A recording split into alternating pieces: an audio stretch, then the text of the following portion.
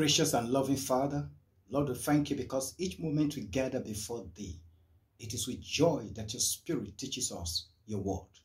We ask, Lord, again that your Holy Spirit will teach us this moment. Let your word gain entrance into our hearts. And Father, let the word, O Lord, quicken our understanding of you and help us, Lord, to serve you better. In Jesus' name we pray. Amen. Glory to God. We're going to be looking at the subject titled The Syrophoenician Women. And our text is taken from Mark chapter 7, verses 25, you know, through 30. We're not going to be reading it, but you can take your time, you know, to read that yourself. Praise God. Now, in Mark chapter 7, verse 24, the Bible says that Jesus wanted to take a rest, but he couldn't. He hid.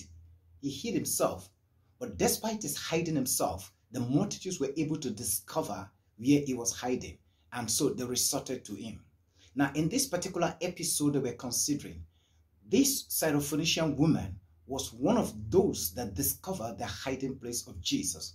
Jesus didn't successfully, you know, hide himself from this particular, from this particular, from a number of people, you know, including this woman. She knew where Jesus was hiding, and so she resorted to Jesus to solve, you know, a particular problem. Amen.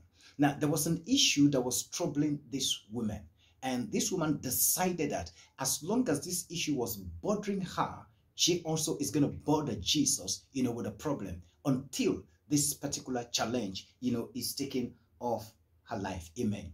And the problem was that there was a spirit that was tormenting her daughter.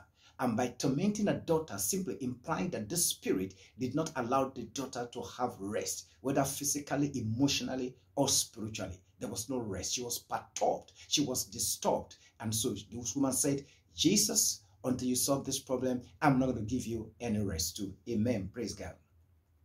Now, the scripture asserts further that this woman, you know, came to Jesus because she heard about Jesus. She must have either she directly heard from Jesus or she heard people talk about Jesus. She must have heard testimonies about Jesus healing people, Jesus casting out devils, you know, and Jesus opening the eyes of the blind, the mouth of the dumb, and the ears of the deaf. And what she heard triggered off faith in her. She, if faith, you know, faith arose within her that if she's able to meet with Jesus, that Jesus would be able to cast out this devil, you know, out of her daughter. Amen. The Bible says that faith cometh by hearing, and hearing by the word of God. What she heard engineered faith in her, faith to receive from Jesus, you know, the solution to her problem. Amen. The scripture went further to describe, you know, this woman. The woman was not a Jew, and Jesus actually came for the Jew. Amen. So we can say that Jesus didn't come for this woman. The scripture, this scripture affirms that this woman was a Greek and from a Syrophoenician woman, sorry, a Syrophoenician nation. And I believe that for, for, for, the, for the identity of this woman to have been given, God wants believers to learn something from this. Now, if you look in those days, this woman would have been considered an unbeliever, while the Jews would have been considered as believers. They had faith, you know, in God. But despite the fact that this woman was a Greek, she was, she was a Gentile, she wasn't a Jew. Through an exercise of faith in Jesus Christ, she was able to receive something from God. She was able to receive a miracle from God, while the Jews didn't receive anything from God. And the lesson here is that as a believer, if you do not have faith in God, you won't receive anything from God. While the unbelievers who exercise faith in God on a particular subject will receive a miracle or a healing or a deliverance from God. This is very important. Yes, God makes a distinction between the Jews and the Greek, between the believers and the, the unbelievers. But if the unbelievers exercises faith to receive something from God, they will receive faith from God. While the while the believer who refuses to exercise faith for that particular thing will not receive, you know, the thing from God. This is a major lesson, you know, we need to learn from this story. Praise God. Now, when this woman got to Jesus, she presented her request to Jesus. And the request was that Jesus should cast out the devil, you know, or the spirit in her daughter. Now, her request was specific because she knew what the problem was. If she didn't know what the problem was, she would have been rambling. You know, she would have been asking for all sorts of things, not knowing exactly what the challenge is. And the key lesson from this is that you must know what the challenge is.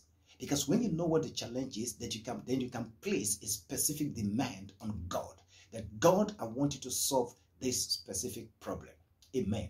And it's sometimes, of course, I agree that sometimes you do not know what is what the specific problem is, but the Holy Spirit can receive that. He can, can reveal that to you. And the more specific you are in terms of identifying the problem, the easier it is for you, you know, to make the specific request and to receive answers to that. Amen. Now, when this woman made her request, Jesus used, you know, an unpleasant language to address her. Praise God. He said unto her, It is not meet to take the children's bread to give to the dogs. In other words, Jesus was saying that the Jews were the children of God, while the Greeks and the Gentiles were dogs. It's like you're saying today that the believers are the children of God and the unbelievers are dogs. Now, ordinarily, this should have infuriated the woman, but she wasn't infuriated. Her focus was not on was not on the language that Jesus used on her. Her focus was on the miracle that she needed from Jesus. And to her, it didn't matter whatever Jesus called her. The most important thing is that at the end of the day, her request is granted unto her and that she receives that miracle. When you need a thing from God, you need a miracle from God, irrespective of the kind of language that anyone uses on you. The most important thing is that you focus on the miracle that you need from God and don't allow anything to dissuade you, you know, from having uh, that miracle. Praise God. Now, on the strength of, of course, after Jesus used that language on her, she, she gave an intelligent response or she responded intelligently you know, to Jesus.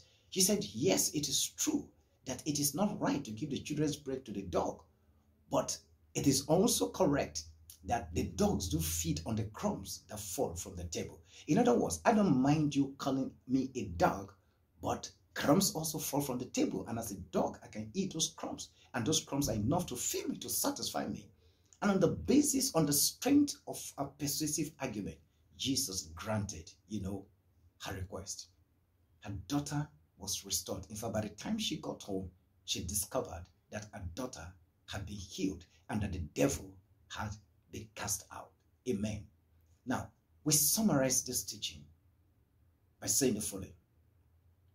You need to have faith in God to be able to receive from God. And faith comes by hearing, and hearing by the word of God. Amen you need to be persistent in your request, and your request has to be specific.